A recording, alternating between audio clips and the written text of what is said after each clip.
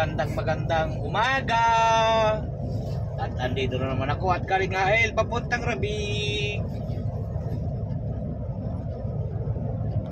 Pasensya na po kung minsan lang po ako maka-upload dahil laging busy sa trabaho.